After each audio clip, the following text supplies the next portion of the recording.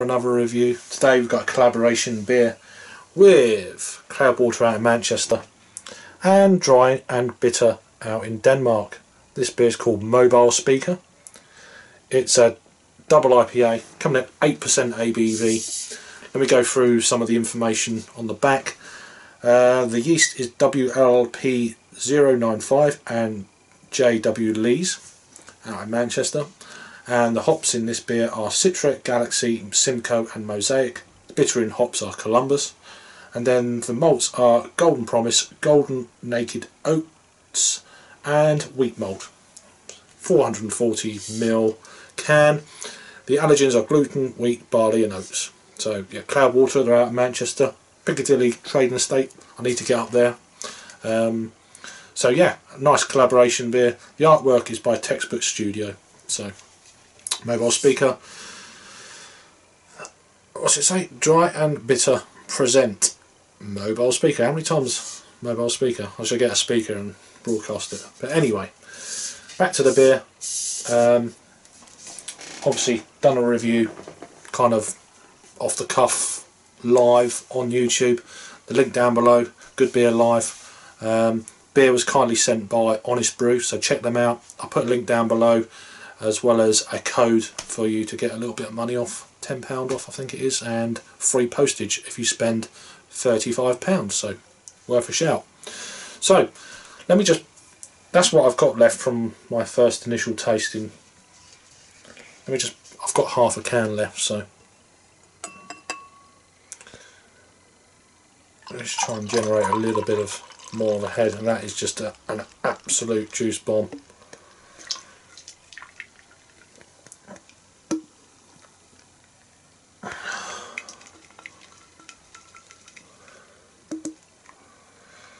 So I've had a, a, a taste.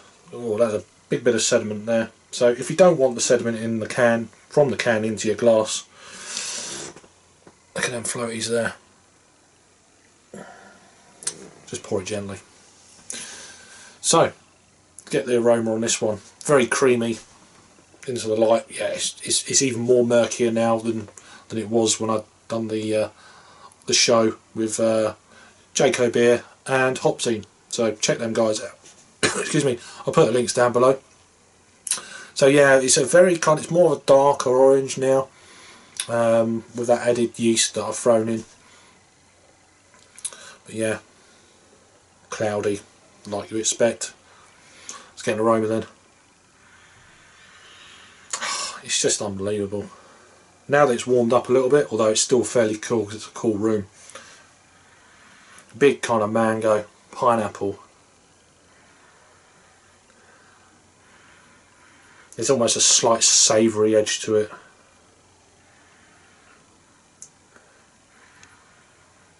It's just it's just one of them beers that just you've got to experience the aroma for yourself almost. This is obviously a very kind of limited release uh, beer. Um, I think it's still available certain outlets. I don't think this beer is still available Honest Brew, but they've got a load of other beers. Um, I'm reviewing this on the 1st of December. I think in the next week or so they're going to get a lot of other juicy beers. So keep going back until there's something you really fancy and then, yeah, use that code. But this is just beautiful. Lovely pineapple. Some nice kind of fleshy orange. There's a nice dankness about it. Let's give it a try now that it's warmed up a little bit. Cheers.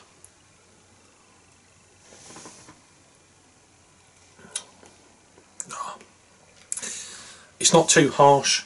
Um, this beer was it was canned on the 18th of October of 2017. Um, best before the end of February of 2018. So this had, beer has had time just to slightly mellow possibly. I mean I don't know what this beer was like fresh. Um, sometimes you can get that kind of slight kind of green. Literally you've had it in a few days. It could be a little bit too green.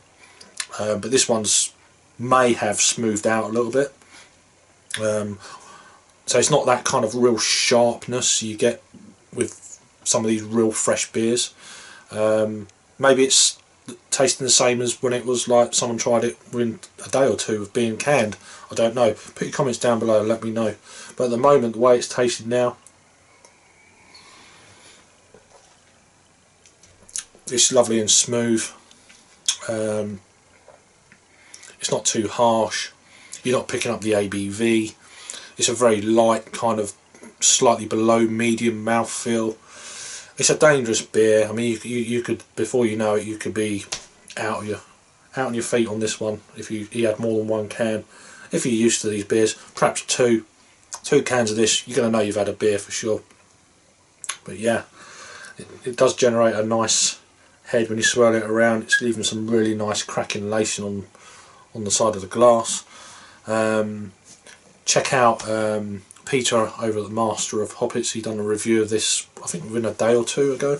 So I'm going to try and post this one as quickly as I can. So yeah, check out his review. I'll put the link down below. Um, also, check out Rob Hopzine and uh, Beer. There'll be a few links down below. Commercial description, commercial description about Cloudwater Brewery, um, and that kind of thing, you know. Playlist, etc. So yeah, check all the information out down below. This is just staggeringly good. Um, there's almost like a, a slight kind of uh, fruit pastely quality to it. It's a little bit chalky but not overly. It's just very well pitched. It's a fantastic beer. Um, also check out Dry and Bitter. I've had a few of their beers. I'm just trying to remember uh, Fat and Fruity I think I've had from, from them guys. I've had it on draft a few times, once in Leeds, Hop City last year, 2016 and I think at Euston Tap. Um, they do fantastic beers as well. I've had the um, the collaboration beer with Beer 52 as well. And they, they, I've had a few beers from them, so check them out as well. I'll put the links down below, etc. So back to this beer then. Yeah, it's just so smooth. The mouth feels wonderful, almost slightly creamy. There's a slight sweetness of vanilla. It's almost like um, a vanilla waffle um, kind of thing yeah, vanilla ice cream waffle or mango, slight mango-y kind of a mango waffle.